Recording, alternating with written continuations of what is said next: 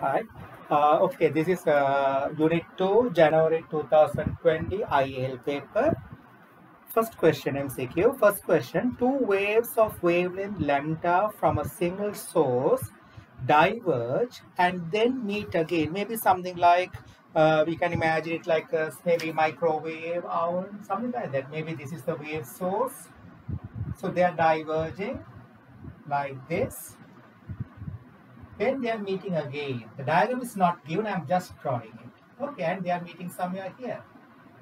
Something like. Maybe this is the uh, point they are, they are overlapping, right? Which of the following situations would cause constructive interference? We know to cause constructive interference, the two waves should meet in phase. Yeah, they should meet in phase. So to have in phase, the path difference should be either lambda or 2 lambda, 3 lambda, integer multiple of lambda. So the correct answer is B. Correct answer B for question number 1. Okay, question number 2 is about polarization. Uh, which of the following describes the oscillations in polarized way. So A, the first answer they are saying in a single plane which is perpendicular to the direction of wave travel. Actually, uh, when we consider polarization, that's a property of the transverse wave in which the oscillation is confined to one direction such that in right angle to the direction of wave motion we can say or we can say the oscillation is confined to one plane such that the plane includes the direction of wave motion. But here the first answer says in a single plane which is perpendicular to the direction of wave motion. No, that is wrong statement. The plane should include the direction of wave motion. So the answer A is wrong. Answer B, in many planes which include the direction of travel. No, can't be many planes. It's uh, Then it will be unpolarized, is it? So it's a wrong statement anyway. Answer C in many directions and parallel to the direction of wave travel. So uh, actually uh, the meaning is not there, any meaning is not there, right? So leave it. So the correct answer is D in one direction and perpendicular to the direction of motion. It should confine to one direction and uh, it should be perpendicular to the direction of wave motion. Right, that is the question number two. Question number three, there are which row in the table shows the total resistance if two 5 ohm resistors. So we are given two 5 ohm resistors. If you connect them in series and parallel, what will be the uh, equivalent for if you connect two resistors in series, each of them 5 ohms? How much will it be? The equivalent will be 10 ohms. If you connect them in parallel, two 5 ohms, if they are connected in parallel, So the equivalent 1 over r will be 1 over 5 plus 1 over 5. That r will be 2.5 ohm. So the table gives four different answers. So the correct answer is B, 10 ohm and 2.5 ohms. Question number 4. There a graph is given for uh, diode. The graph is given like this. Current voltage graph is given there. So the graph is given like this. Uh, so the volt, the current is zero up to certain voltage, then suddenly increases. Yeah, that's the correct one. And you know when the voltage become negative, that is reverse bias. This is forward bias. Reverse bias, the current is remaining zero. And this is marked as X. This is Z. This point is marked Z. And this region is marked Y. So the question is, at which point or points is the resistance of this diode is infinite? So we know that R equal V over I, wherever you get current 0 and there is a uh, value for V, at those points, uh, the resistance is 0. So here the current is 0, so it's no current at all even when you increase the voltage. So infinite resistance. Even up to the breakdown point here, the current is 0. So the resistance is infinite. So answer X and Y, answer A. Question number 4, answer A.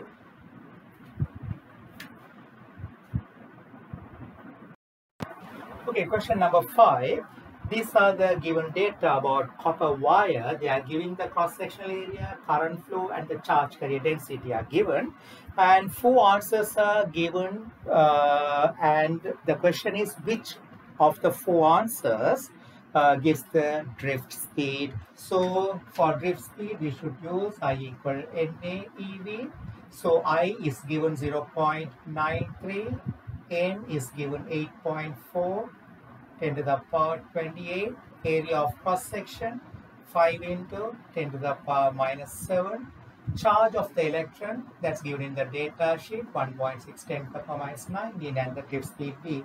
So make the V subject, you will get 0.93 divided by uh, 8.4 10 to the power 28 into 1.6 10 to the power minus 19 into 5 into 10 to the power minus 7. This is the expression, you will get it. So the answer, correct answer, D.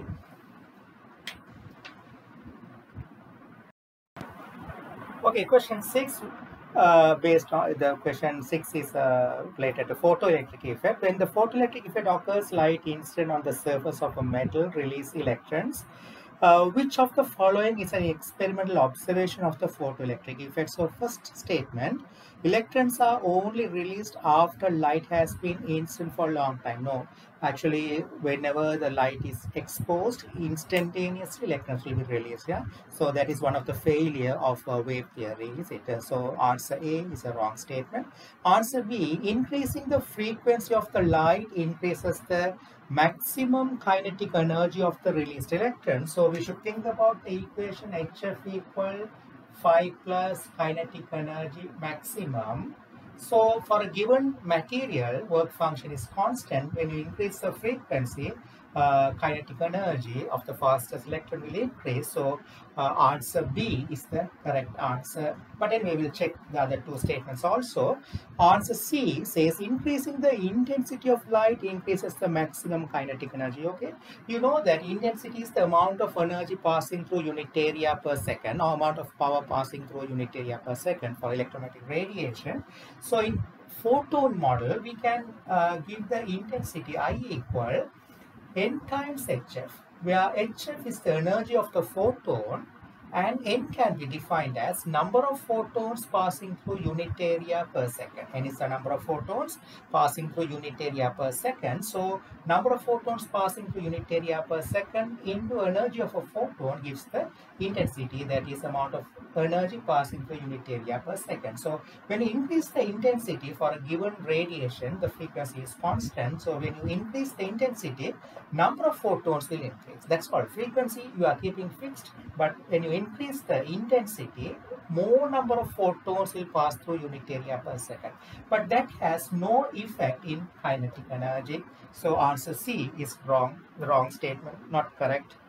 Uh, the statement D says only light with wavelength above threshold value releases electrons. So we know that threshold frequency means the frequency, the minimum frequency required to remove an electron from the surface of metal. So any frequency of electromagnetic radiation that is greater than threshold frequency can release electron. So what is threshold wavelength? So C equal F naught lambda naught. So lambda naught equal to C over lambda, uh, C over F, C over F naught.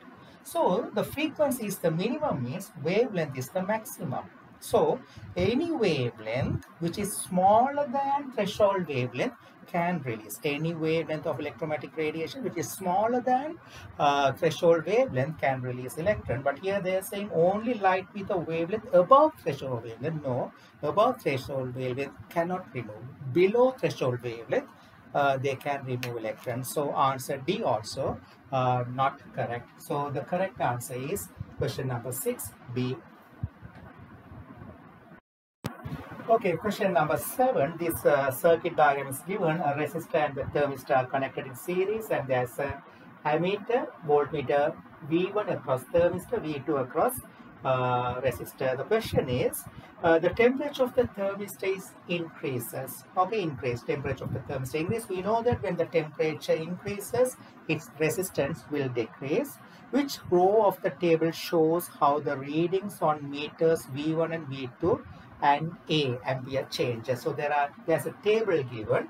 Uh, reading on V1, reading on V2, reading on A. So uh, table with three columns given. So when the temperature increases, temperature of the thermistor increases, we know that its resistance will decrease. So when the temperature increases, resistance of the thermistor will decrease. When the resistance of the thermistor decreases, the total resistance of the circuit will decrease. So current flow will increase. So reading of the ammeter, ammeter reading will increase so when the ammeter reading increases, current through the resistor is increasing. There is no change in resistance, right? If I say this as R and this as RT, no change in R. But when current increases, voltage across the resistor will increase. So the reading of V2 will increase.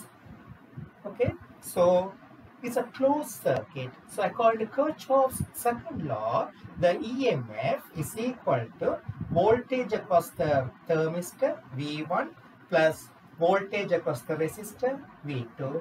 But we know that V2 is increasing, EMF is not changing. So the voltage across the thermistor, that is V1, will decrease. Uh, you can't try to answer by considering this one first because I should think about what will happen to this one. When current increases, the resistance is not changing, so the voltage across the resistor will increase. Current is increasing, res, uh, resistance R remaining unchanged. So according to V equal IR, V2 will increase. So when V2 increases, V1 will decrease. But any one of you try to answer this one first. That means resistance is decreasing. If you use V equal IR for the thermistor, V equal I times RT. Now, when the resistance decreases, current flow is increasing. So, resistance is decreasing. One quantity is increasing, other quantity is decreasing. When we multiply, what will happen? We can't say anything.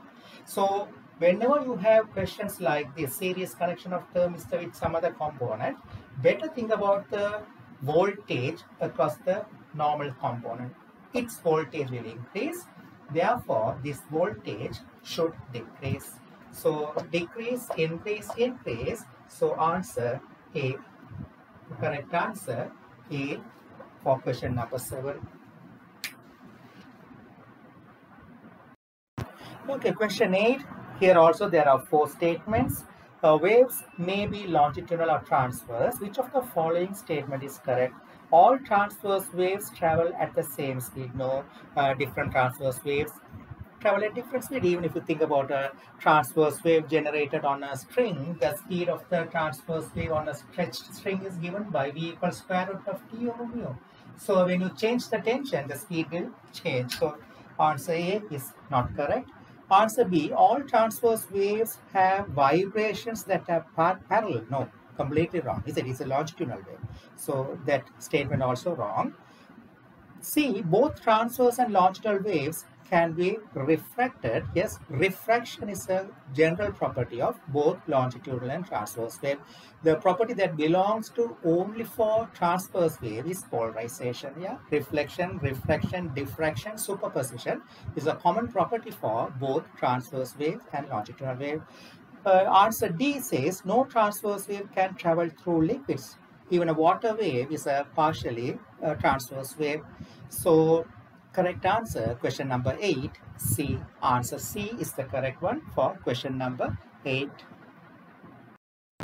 Okay, question number 9. Uh, this diagram is not given. I just drew it. The question is, in an experiment, laser light is shown through a diffraction grating so that series of bright uh, dots uh, yeah bright dots I do it, drew it like bands doesn't matter uh, seen on a screen the equation d sine theta equal n lambda that's the equation for diffraction grating uh, can be used to determine the wavelength of the laser light. So the purpose of this practical finding the lambda right?